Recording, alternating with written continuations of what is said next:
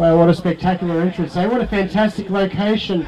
Before we do start, I like to start my ceremonies.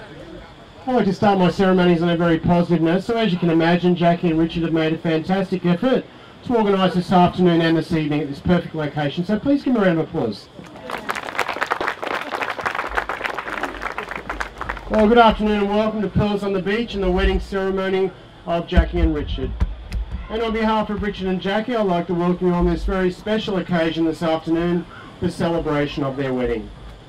They are delighted that so many of you have travelled here to be with them this afternoon, and we hope you all got parking. And we hope that this afternoon and evening is one of happiness, celebration, and above all fun.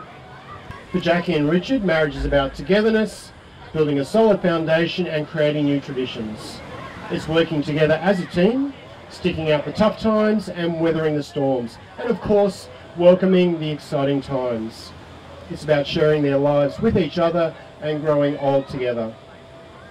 And surely you shall say a few words that will take you across the threshold of life, and things between you will never quite be the same again. For after today, at this superb location on this cracker of a day, you shall say to the world, This is my husband, and this is my wife. So if there's anything you remember this marriage ceremony this afternoon, it is love that has brought you here today, and it's by love by which shall make it a glorious union, and it's by love by which shall make your marriage endure or continue. So whatever the situation, love, understanding, acceptance and forgiveness, well, it can make everything right. So, so Richard and Jackie, you have declared before us all here today that you live together in marriage. Let us hope that this day will form a milestone in your lives one that you look back upon with much joy and much happiness.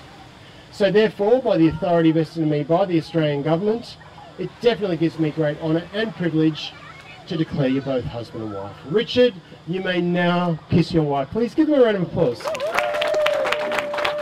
Just letting you know now that Richard and Jackie have signed all the necessary paperwork. They are now legally married by Australian law. On a personal note, they're a lovely couple. They've just been so nice to me and nice and relaxed, and you are very lucky to have them as family and friends. So all I need to say at this point is just please give them a round of applause.